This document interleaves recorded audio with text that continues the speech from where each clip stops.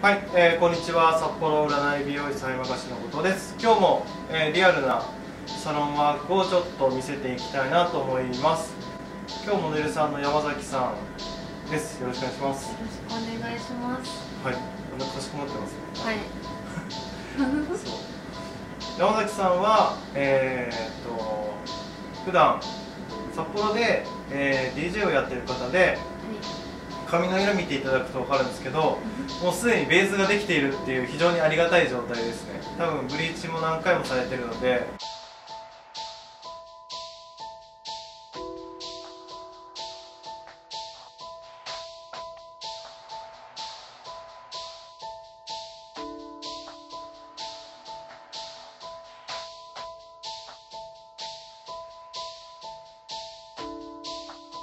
まあ、今日はあのこれこの状態にカラートリートメントちょっとかぶしていこうかなって思ってます、まあ、結構ランダムな感じに結構派手に仕上がるのかなっていう感じがします。毎週山崎さん多分クラブで回してるので、はい、派手でもいいんですよ派手でお願いします。はい、はい、派手でお願いします派手でお願いしますってなかなかいないですけどまあ派手でいきます。はい。なのでまずカットからね、えー、ちょっとやっていきたいと思うんですがまあなんか僕見た感じあんまり短く切らない方が似合いそうな気がするんでちょっとパッツン系に、えー、して普段外羽にするっていうこともあるんで、えー、少しこう毛先の重さはあるけどもあの遊びがあるような感じで、えー先のニュアンスをちょっと変えたいなと思います。でその後カラーをちょっとやっていきたいなと思ってます。はい、えー、でですねあのー、まずはい、えー、今日もショーバルタンを使ってカットしていきます。で、えー、まずアウトラインをちょっと決めたいと思うんですが少しうんまあこの状態でもいいと思うんですけどバックもうちょっと切ってあともうちょい切ろうかなって思います。この辺をちょっと切っていって、この辺もうちょい上げたいかなと思う。んで後ろがちょっと切っちゃおうかなと思いますね少し。でまずアウトラインを切ります。で僕大体サイドからバック後で切るのでサイドから切ります。で大体この辺かなっていう場所を見つけて上からですね。手を上から持ってきていただいて。まずあのベースは1回きれいに切ってきれいにあの揃えて切ってあげて。それからあ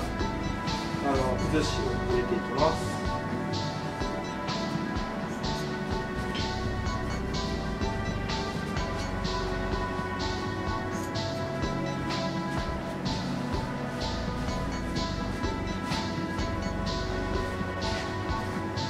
サイドちょっと切ったらもうバックですね。あの細かくまあ僕取って切らないので細かくこう取って切ってもまたあの切り直したら一からやらないとダメですしあまりきれいに切れないのでこのままバツッといってしまいます。で、えーと、この辺はちょっと攻めるラインに切りたいので今ラウンドしてますがハサミのラウンドの方じゃなくてこっちの山切りの方を使ってサクッとしまおうかなと思います。でノーテンションの状態でそのまま切ります。はいノーテンションで切っちゃいます。だもうちょっといけそうかなって気がするんで結構この辺切るときはあのー、まあちょっとレザーに似てるかもしれないですけど先っちょ持って上を切ってますね。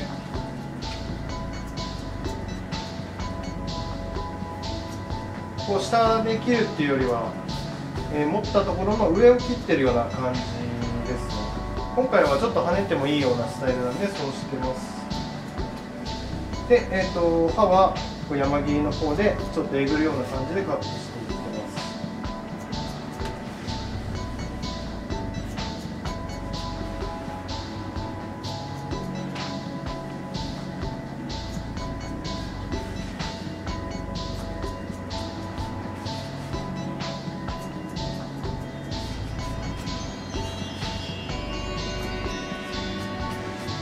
でバックの方は今これで切れましたんで、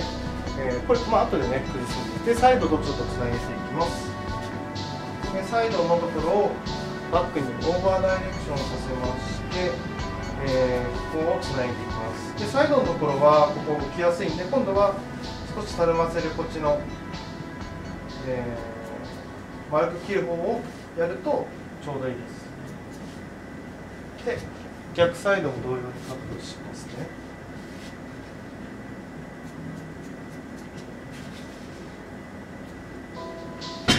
適当に切ってるわけじゃないそれ大丈夫ですで基本的にあの本当今日も単純なカットなのであの表面とかももうこのまま切りっぱでいいかなって感じなんですね。で、えーと、ポイントはここからのここからなんですけども、えーと、以前やったようにちょっと下見てくださいね。はい。またちょっと分かりやすく解説していきたいと思います。はい。まずえーとブロッキングをちょっと取りながらですね、えー、カットしていくんですが今回はちょっとモデルさんの重さがドンと出てる方が絶対かっこいいんで、えー、毛束の半分しか取らないでください。じゃあ毛束の半分しか取らないでってことはどういうことかっていうと、えー、ここをまず切っていきますね。やってみれば分かるんですけどちょっと横の方がいい。真下に引き出します。いいですか？この時にテンションかかってるのは右手の人差し指と親指がテンションをかかってます。でこの状態でここに穴を開けます。中に。いいですか？中に穴を開けるんですがこれが表面の方まで行けば行くほど表面の重さがなくなってしまうんですね。で今こうやって下ろしてみた感じ、えー、大体欲しいなっていう重さが見えてくるんですよ。それが大体僕の場合はボンの首よりちょっと下ぐらいの重さも欲しいなっていう感じがするんで取るのはもう本当この襟足のとこぐらいですね。ここをちょっとえぐります。でどういうふうにえぐっていくかっていうと、えー、はいこのようにして真下に取っていいですか？このまま真下に取って、えー、ここに穴を開けます。わかるでしょうかね真下にあってここに穴を開けていきますこれでこの辺に動きが出ていきますね。まあ、パッツンのボブのカット法っていうような感じですね。ちょっとずつ、まあ、普段こういうふうには切らないんですけど、まあ、分かりやすくちょっとカットしていきます。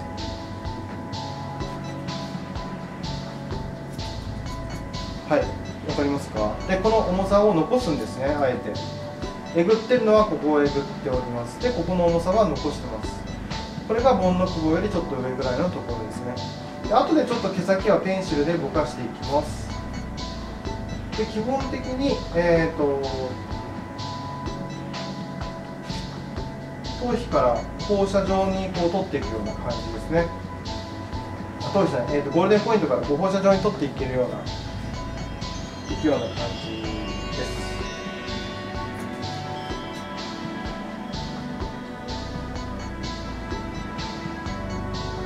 で、えー、ここも同様に真下に引き出して、え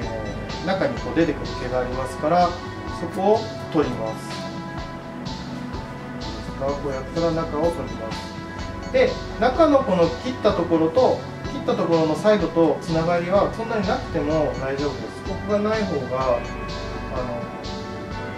の遊び感が非常にセットした時に出るんで面白いかなと思うんででダメなのはこういう切る時にブレちゃう時ですね。右とか左にブレてしまうとあの肘をねなるべく上げて切ると大丈夫なんですけど肘が下がって切るとどうしてもこうやりやすい方になってしまうので肘を上げてカットしていきますね。で、えー、ここをカットして肘を上げてカットしてちょっと取ります。こんな感じですね。で最後に行けば行くほどこの幅っていうのは狭くなってくるんで取る量が多くなってしまうと薄くなっちゃうので、えー、取る量は非常に少なくなってくるかなっていう感じですね。最後に行けば行くほど。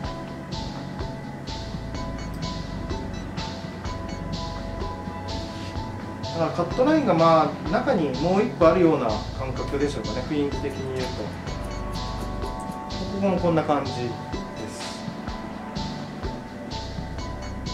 でまた自然に通って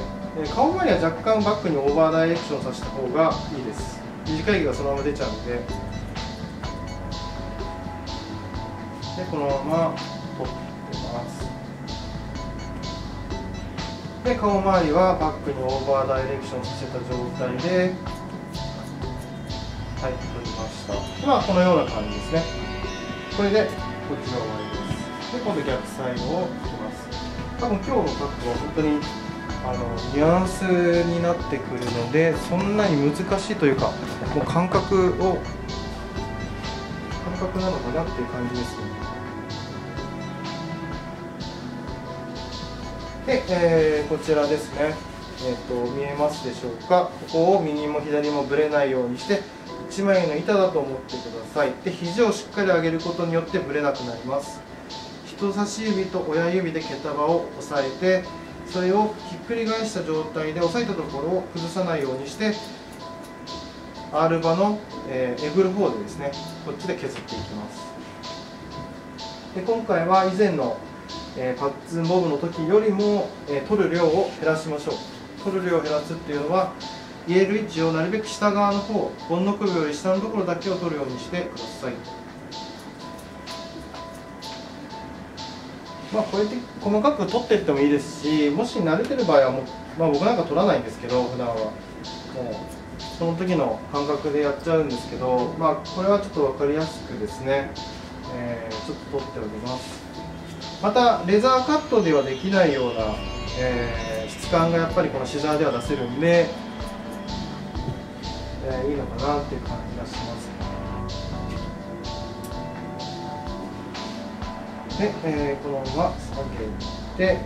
真下に下げたのを取っていきます。はい、でこんな感じに、えー、毛先のこう不揃いさがまあとりあえずできたのかなって感じですね。で、えーと、ここで1個ポイントなんですけど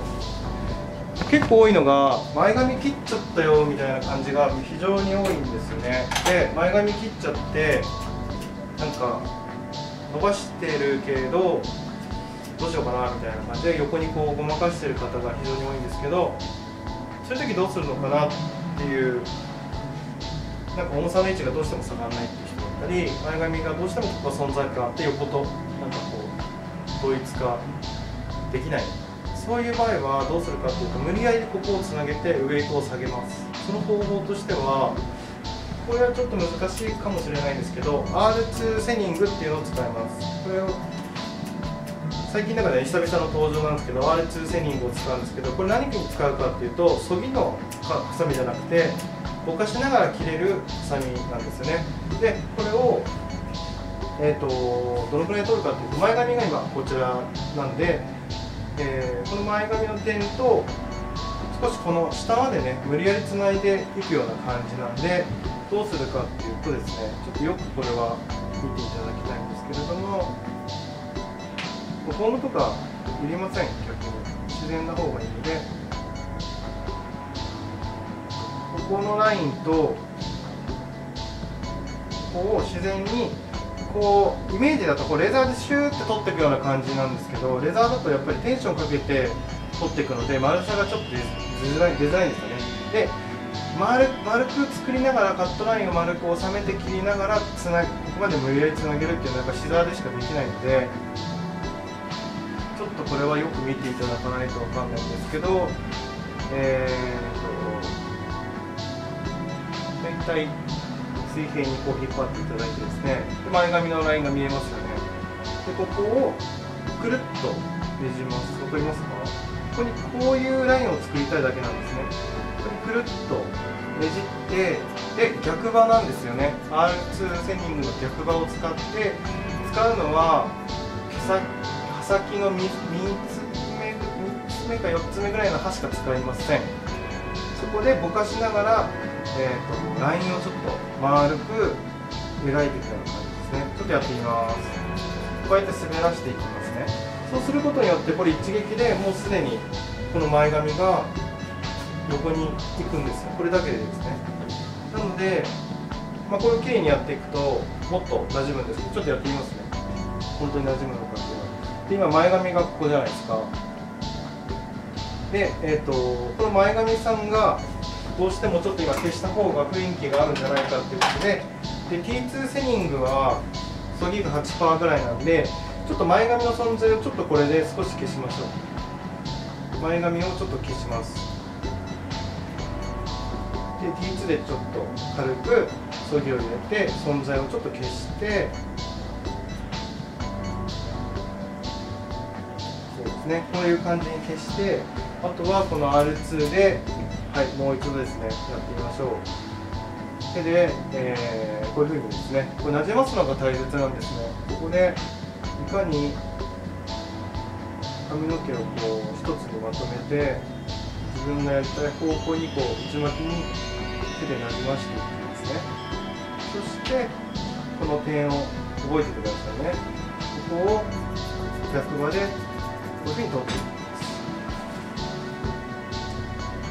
これで今度はちょっといろいろ使って申し訳ないですけどダイバルタンっていうのがあってこのダイバルタンを使ってこれを今度なじましていきますね。そうするともう前髪が横の毛につながってくるんですね。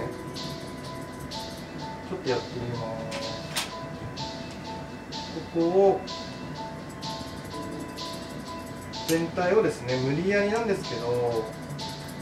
ちょっとつなげていきます。そうすると前髪の毛が横につながることによってウェイトの高さが下がるんで小顔効果が出たりとかあとはちょっとかっこいいラインに持って持っていけたりとかするんでこれ今何やってるかっていうとあのヤスリがけみたいなものですかね。先ほど切った R2 で切ったラインをヤスリがけしてるような感覚に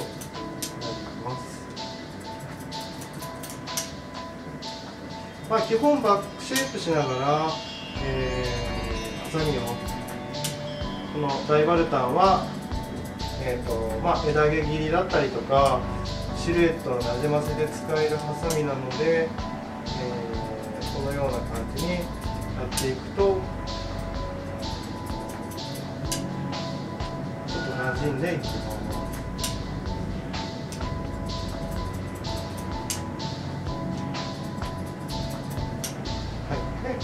少し馴染んちょっと僕まだ見えてないんで実際どうなのかなっていうのがちゃ怖いんですけど。ちょちょっといいですか？見えてる？ちょっと馴染んだら分かります、はい、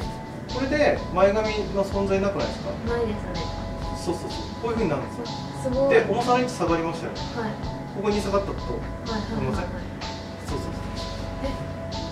これがカットでできるんですねはい、えーと、今日も、えー、夜遅くまでですね撮影をさせていただきました。今日はありがとうございました。はいまたよろしくお願いいたします。はいまた、えーと、早山しのムービーを皆さん、えー、ぜひ繰り返しいろいろ見てください。でこれからもいろんな動画を、えー、リアルに伝えていきたいなと思ってるので、えー、皆さん今後も、えシェアなど応援よろしくお願いいたしますではまたよろしくお願いします。バイバーイ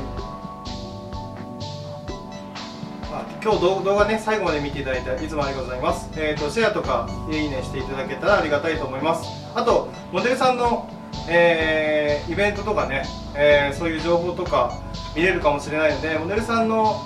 インスタグラムかな？のちょっと載せとくので検索していただけたらいいかなと思います。なんか DJ 情報だったりとかあのいろんなイベント情報いろんな仕事とかモデルだったりモデル業だったりとかあと、えー、いろいろな、えー、プログラミングみたいな感じとかするなので、えーと、インスタとか登録していただけたらいいかなと思いますので下のとこに載っけておきますので、えー、お願いいたします。今日も一日えー、ありがとうございました。ありがとうございました。はい、またあの早任しの動画見てくださいね。よろしくお願いします。はい、ではまたお願いします。どうも